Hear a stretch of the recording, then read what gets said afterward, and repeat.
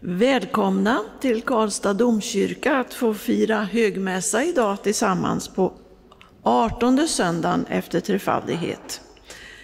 Det står ett litet fel i er agenda, men det är den 18 söndagen efter trefaldighet. Och temat är att lyssna i tro. Välkomna till er som är här och ni som lyssnar hemma vid tv-apparaterna. Idag följer vi andra årgångens textläsningar och de finns på sidan 1535 i psalmboken. Kollekten idag det är en stiftskollekt och som går till Geijerskolan. Och den kan ni swisha eller lägga vid utgången i sparbössorna där. Och då ska jag läsa några rader om vad man gör på Geijerskolan. Geijerskolan i Ransäter är en viktig utbildningsresurs för församlingarna i stiftet. På skolan finns kyrkomusikerutbildning och pastoralteologisk utbildning för kyrkomusiker. Dessutom anordnas kördagar, orgelspelarkurser och fortbildning för kyrkomusiker och andra församlingsanställda. Skolan är också en viktig rekryteringsbas för kyrkomusiker. Vi anbefaller kollekten varmt.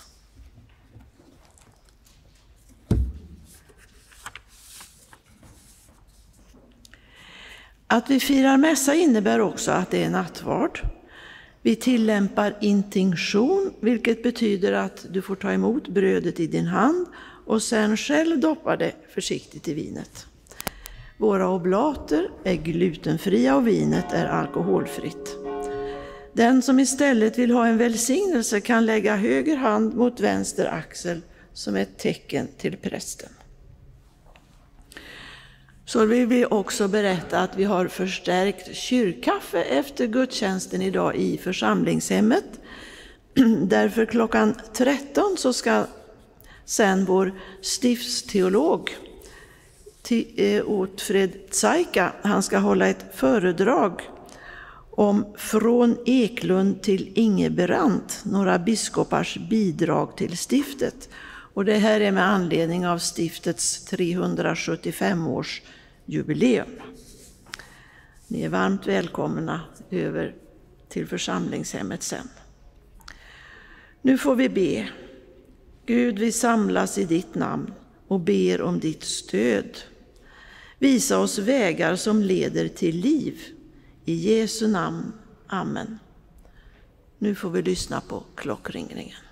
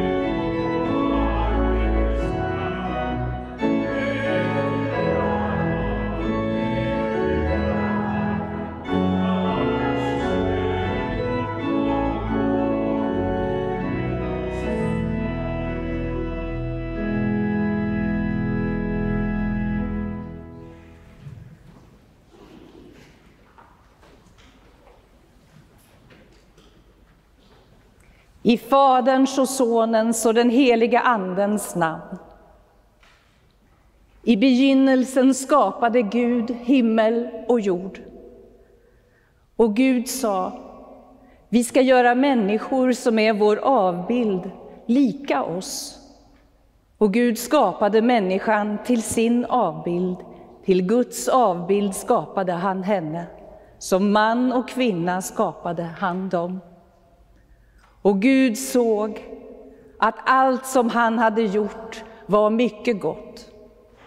Låt oss besinna att vi har vårt ursprung i Gud.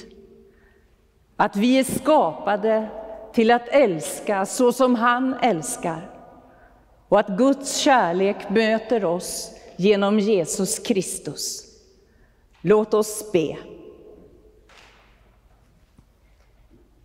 Jesus Kristus, jag kommer till dig i längtan efter upprättelse.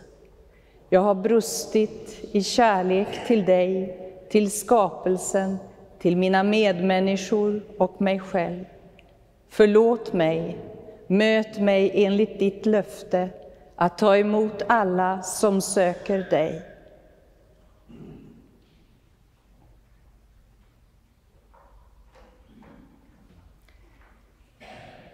Till dig som ber om förlåtelse säger jag på Jesu Kristi uppdrag.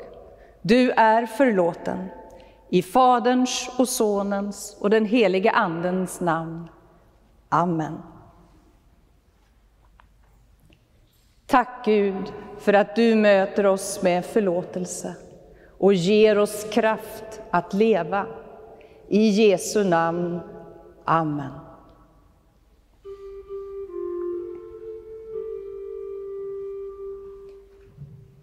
Helige Herre Gud, helige starke Gud, helige barmhärtige frälsare, du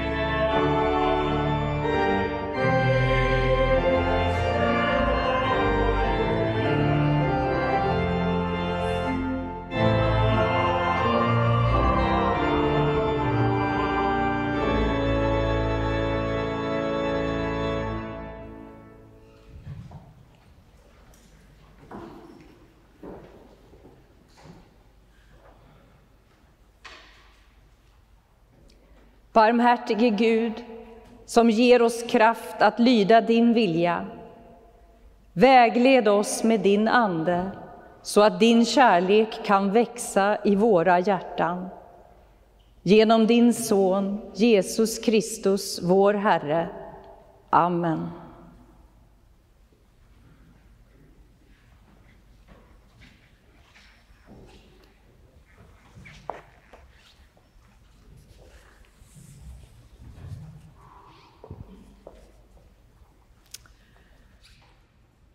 Får vi lyssna till den gammaltestamentliga läsningen. I femte Moseboken skildrar Moses tal till Israels folk vid slutet av ökenvandringen. Mose vet att han snart ska dö och att det blir Josua som ska leda folket in i det förlovade landet.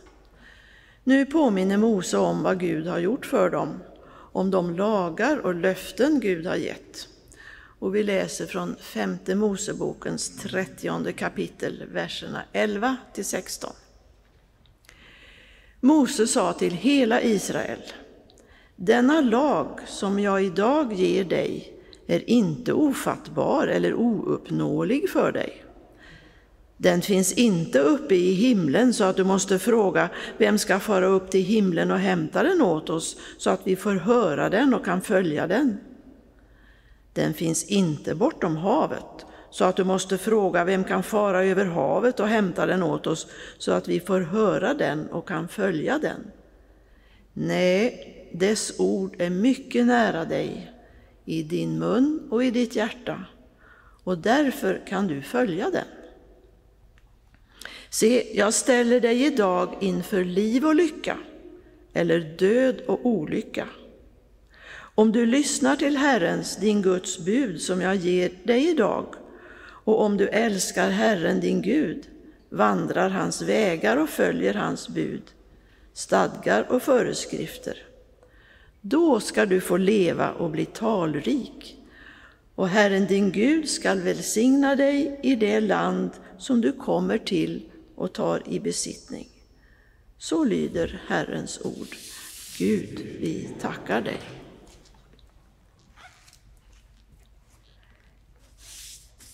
Dagens epistel kommer från Jakobsbrevet. Jakobsbrevets författare tillrättavisar sina läsare och menar att de föraktar de fattiga. Den rike ska inte behandlas bättre för sina pengars skull.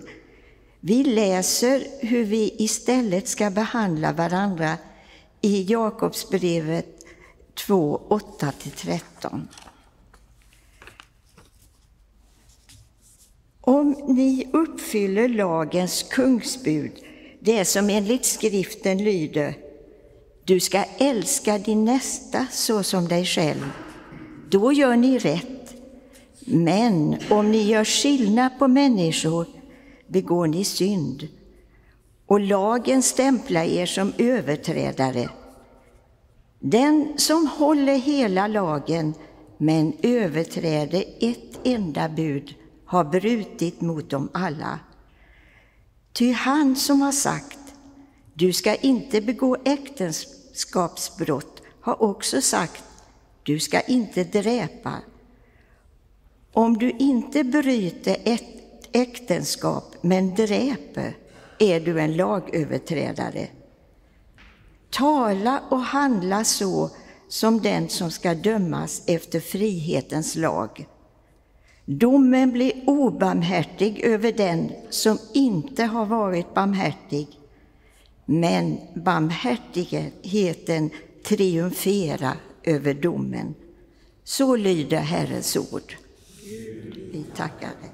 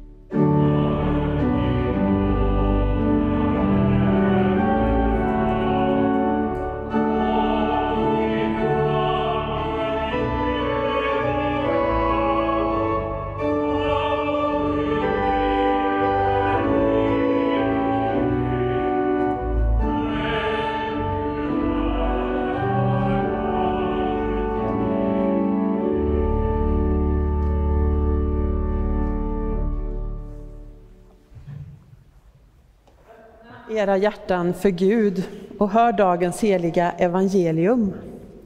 Så skriver evangelisten Markus. När Jesus skulle fortsätta sin vandring sprang en man fram och föll på knä för honom och frågade Gode mästare, vad ska jag göra för att vinna evigt liv? Jesus svarade Varför kallar du mig god? Ingen är god utom Gud. Du kan budorden. Du ska inte dräpa. Du ska inte begå äktenskapsbrott. Du ska inte stjäla. Du ska inte vittna falskt. Du ska inte ta ifrån någon det som är hans. Visa aktning för din far och din mor. Mästare, sade mannen, allt detta har jag hållit sedan jag var ung. Jesus såg på honom med kärlek och sa, ett fattas dig. Gå och sälj allt du har och ge åt de fattiga. Då får du en skatt i himlen. Kom sedan och följ mig. Vid de orden mörknade mannen och gick bedrövad sin väg, för han ägde mycket. Jesus såg sig om och sa till sina lärjungar, hur svårt blir det inte för dem som har pengar att komma in i Guds rike? Lärjungarna blev bestörta över hans ord. Men Jesus sa igen, mina barn, hur svårt är det inte att komma in i Guds rike? Det är lättare för en kamel att komma igenom ett nålsöga än för en rik att komma in i Guds rike. De blev ännu mer förskräckta och sa till varandra, vem kan då bli räddad? Jesus såg på dem och sa, för människor är det omöjligt, men inte för Gud. Ty för Gud är allting möjligt. Så lyder det heliga evangeliet. Lovad vare du, Kristus.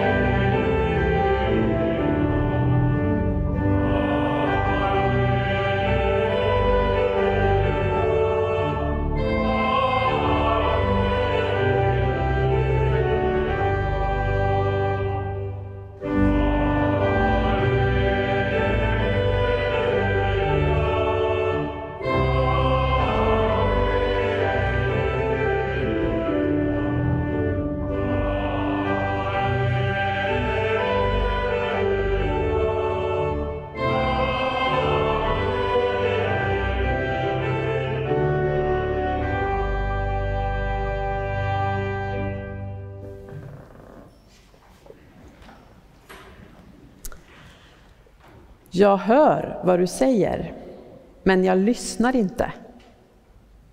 Jag vet inte om ni har varit med om det någon gång. Tänker att det händer ganska ofta.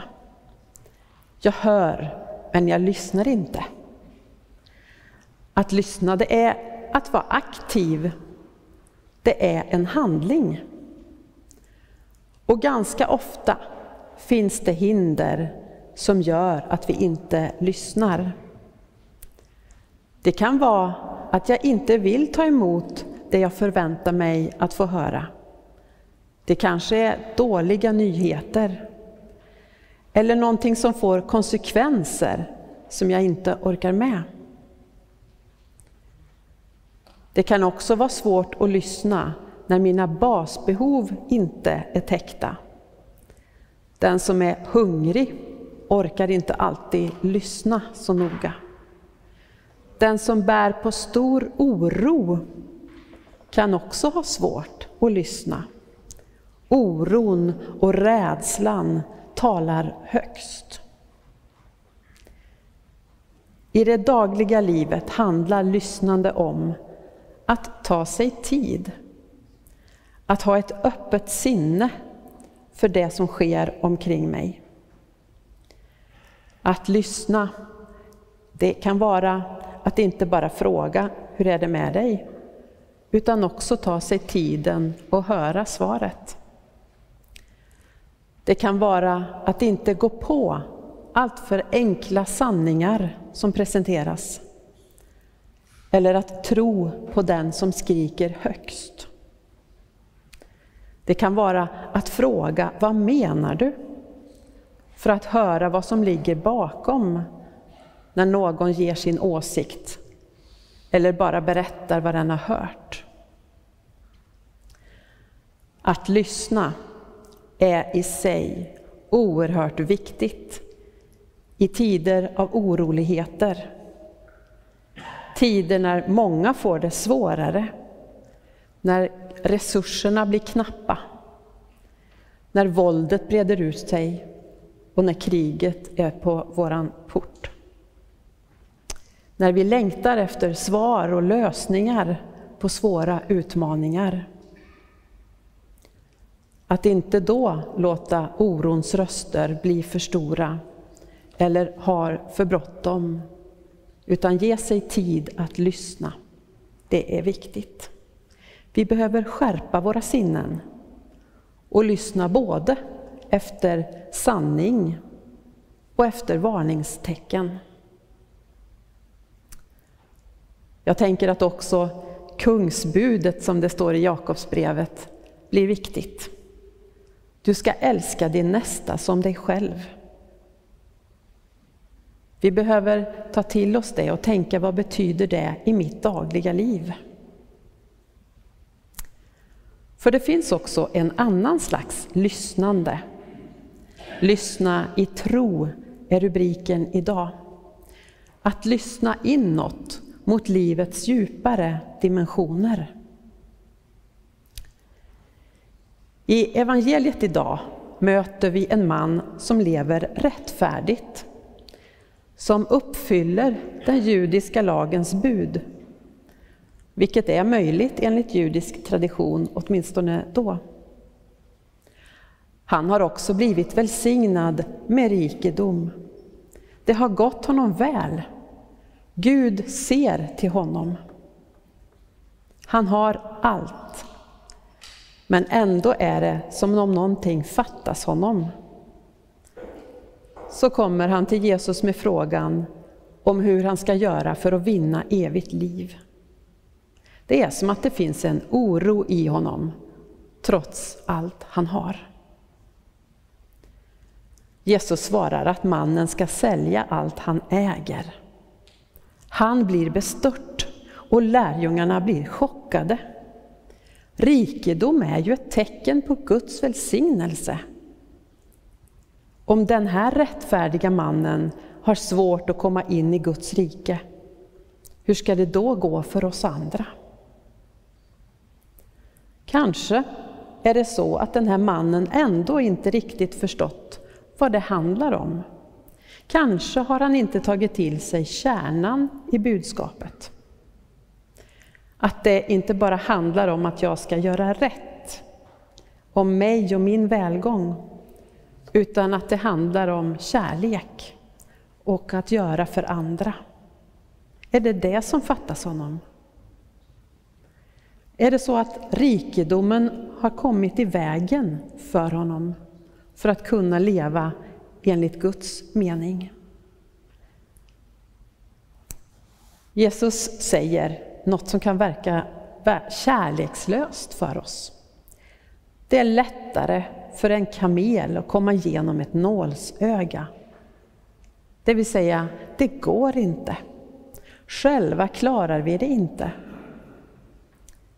Men samtidigt så får vi ett ord av hopp. För Gud är inget omöjligt. Gud kan rädda oss. Och det är med kärlek som Jesus möter den här mannen. Det är som att han på sitt eget omskakande vis vill visa på livets hemlighet på djupet. Kärlekens lag. Och då är det väl trösterikt det som står i Moseboken. Lagens ord är nära dig, i din mun och i ditt hjärta. Vi behöver inte söka svaret på livets frågor långt bort. Vi behöver inte vara på någon särskild plats för att hitta det som bär. Gud är alltid hos oss. Gud är oss närmare än vårt eget hjärta. Ofta behöver vi skala bort saker, stänga av rösterna som ropar omkring oss, lägga av oss oron, om så bara för en stund, för att kunna lyssna till det som är den djupaste sanningen. Ibland tar det längre tid för oss än vi skulle vilja. Men vi får inte ge upp hoppet och tron. Det finns där, nära oss. Något som är större, det som ger livet mening och innehåll. Och det som kan ge oss modet som vi behöver, både för att lyssna och för att leva i tro och kärlek. Följ mig, säger Jesus till oss. Jag är världens ljus. Jesus vill rädda oss, visa oss vägen. Och ljuset, Guds ljus, det lyser i mörkret. Mörkret har inte övervunnit det. För Gud är ingenting omöjligt. Vi ber. Visa mig, Herre, din väg och gör mig villig att gå den. Amen.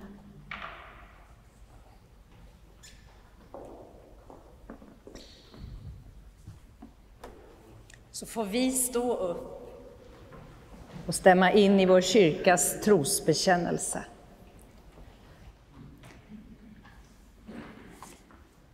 Vi tror på Gud Fader allsmäktig, himmelens och jordens skapare.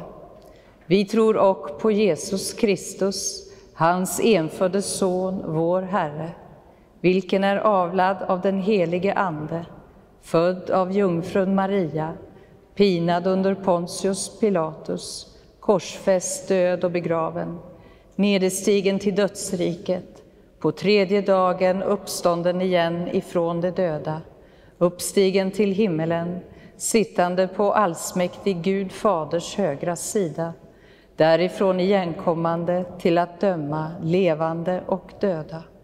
Vi tror också på den helige Ande, en helig allmännelig kyrka, det heligas samfund, syndernas förlåtelse, de dödas uppståndelse och ett evigt liv.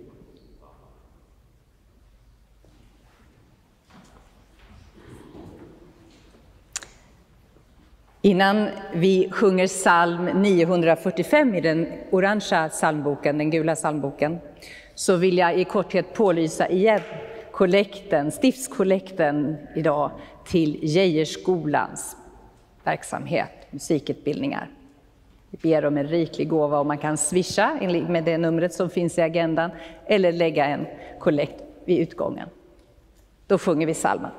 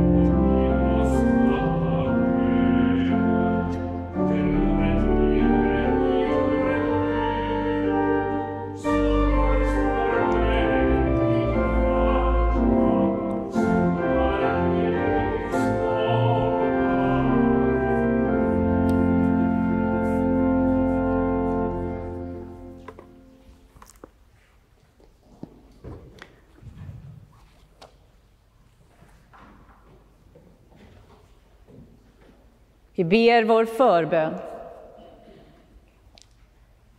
Gud, du som vill leda oss närmare dig, närmare varandra och närmare oss själva. Tack för att du hör vår bön. Möter oss med kärlek. Livets Gud, din värld står inför dig. Din skapelse, härlig men sårad. Ur livets djup kommer vår längtan att återfinna vägarna till ett liv i harmoni mellan människan och skapelsen. Vi ber att din röst ska bli tydligare för människor av alla språk och grupper och religioner. Tala genom bruset av liv så att din värld hör dig. Tack för att du hör vår bön och möter, och möter oss med kärlek. Sanningens Gud, din kyrka står inför dig och ber att du ska ge oss lyhördhet inför det du vill säga. Hjälp oss att släppa taget om all prestation och frestelsen att göra och kunna allt. Låt oss bli stilla inför dig i tillit och lyssna tills vi hör vad du talar till kyrkan över hela världen och till vår församling. Tack för att du hör vår bön och möter oss med kärlek. Idag ber vi för vårt stift, Karlstad stift, alla människor som bor här i Värmland och Dalsland och biskop Sören Dalevi. Vi ber också för Växjö stift och biskop Fredrik Modéus. Och inom borgargemenskapen så ber vi idag för, i Church of England, Diocese of Oxford, eh, Bishop Stephen Croft, Bishop Olivia Graham och Bishop Colin Fletcher och Bishop Alan Wilson. Tack för att du hör vår bön och, och möter oss med kärlek. Ja, närvarande Gud, du är i våra hjärtan djupare än vi själva kan nå. Vi ber om en lyssnande hållning i hela vårt liv. Hjälp oss att se vad i livet som leder till ljus och hopp och tröst.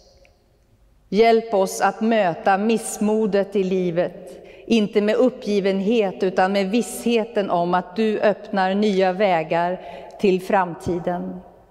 Tack för att du hör vår bön och möter oss med kärlek.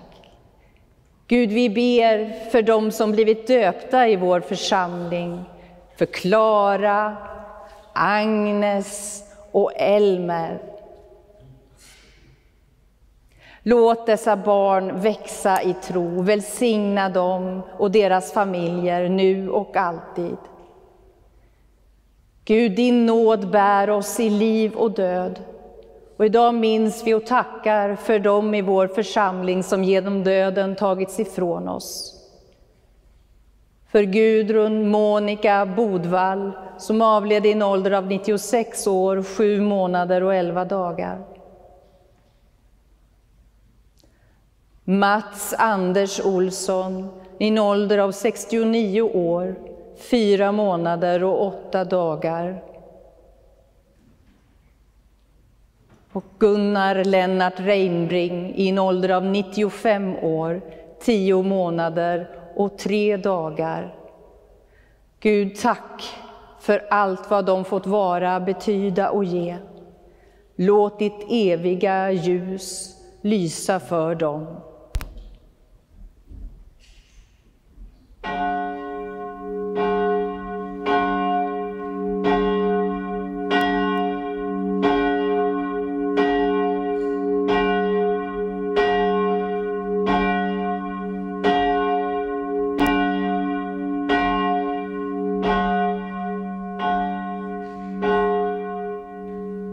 Gud, vi ber för alla som sörjer.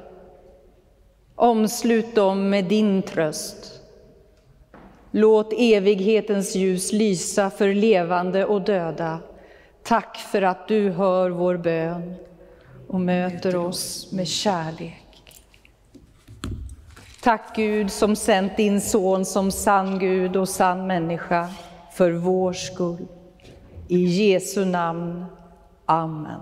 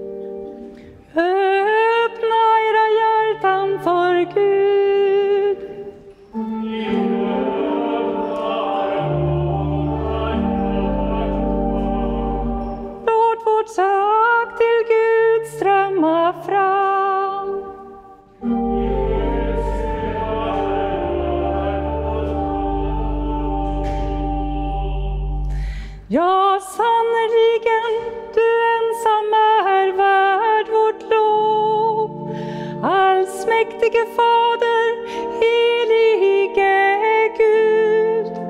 Dig vill vi prisa och välsigna genom Jesus Kristus vår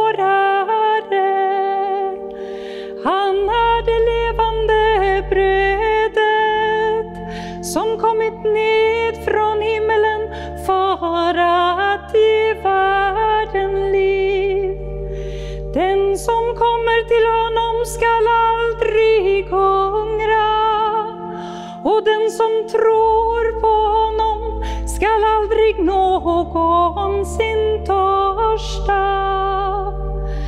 Därför vill vi med dina trogna i alla tider och med hela den himmelska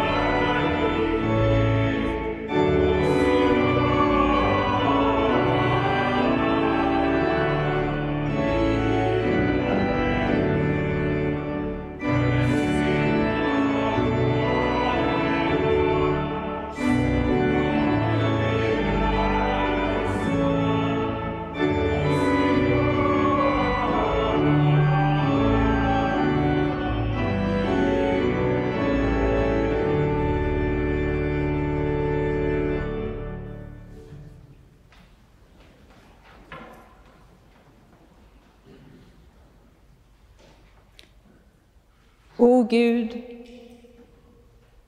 i Kristus går du från tomhet och död och gör det omöjliga möjligt.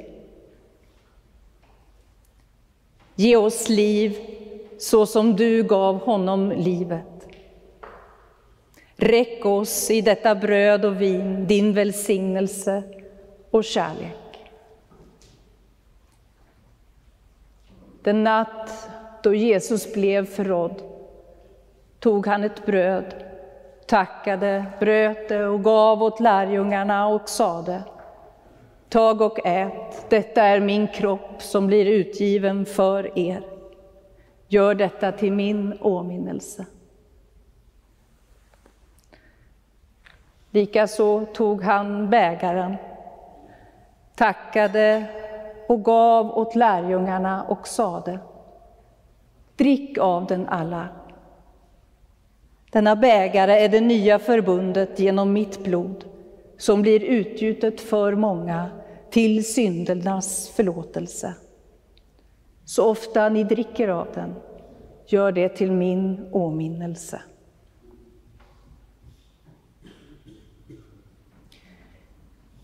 Din död förkunnar vi, Herre, din uppståndelse bekänner vi till dess du kommer åter i härlighet. Gud, din kärlek bär allt. Sänd din Ande till oss och till brödet och vinet. Kom och gör världen hel. Din är all ära och härlighet i evighet. Amen. Vi ber tillsammans den bön som Jesus Kristus själv har lärt oss. Vår Fader, du som är i himlen. Låt ditt namn bli helgat. Låt ditt rike komma. Låt din vilja ske på jorden så som i himlen. Ge oss idag det bröd vi behöver och förlåt oss våra skulder, liksom vi har förlåtit dem som står i skuld till oss och utsätt oss inte för prövning, utan rädda oss från det onda. Ditt är riket, din är makten och äran i evighet. Amen. Brödet som vi bryter ger oss gemenskap med Kristi kropp. Så är vi, fastän många, en enda kropp, ty alla får vi del av ett och samma bröd.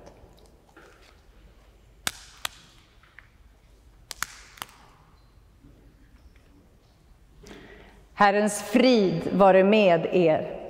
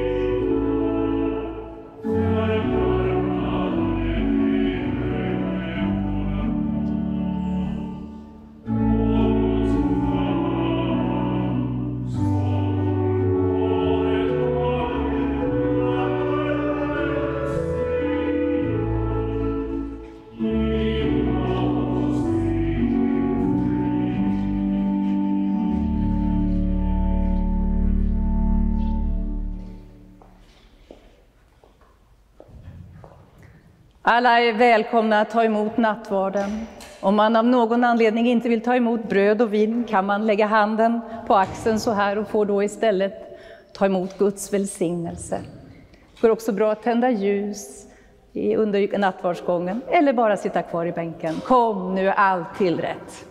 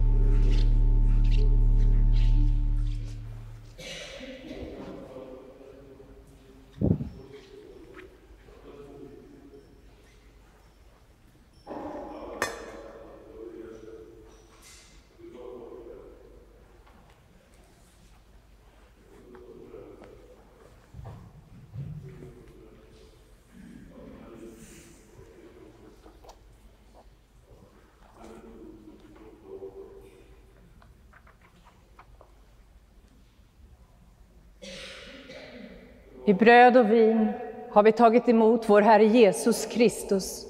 Han bevarar oss till evigt liv. Amen. Låt oss be. Kristus, vi tackar dig för din outsägligt rika gåva. Du blev ett svar på vår bön, ett bröd för vår hunger. Hjälp oss nu att vara ditt svar till dem som saknar vad vi äger i överflöd. Hjälp oss att höra det rop som du har hört, förstå den nöd som du har förstått, tjäna den mänsklighet som du har tjänat. Ja, uppenbara för oss ditt bords hemlighet, ett enda bröd och en enda mänsklighet. Amen.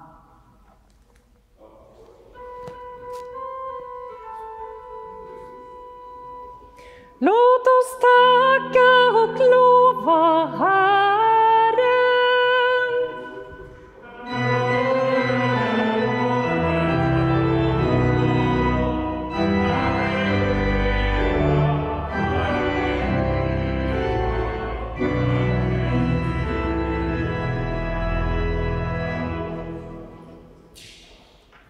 Ta emot Guds välsignelse. Herren välsigne er och bevare er. Herren låter sitt ansikte lysa över er och vare er nådig. Herren vände sitt ansikte till er och give er frid. I Faderns och Sonens och den helige Andens namn.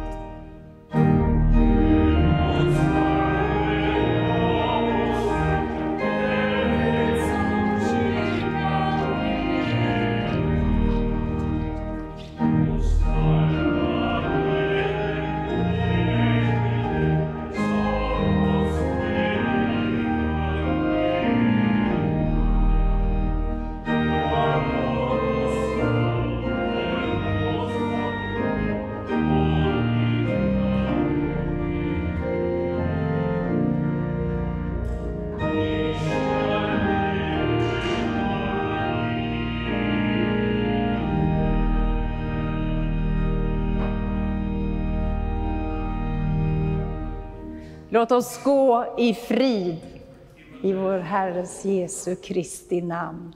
Amen.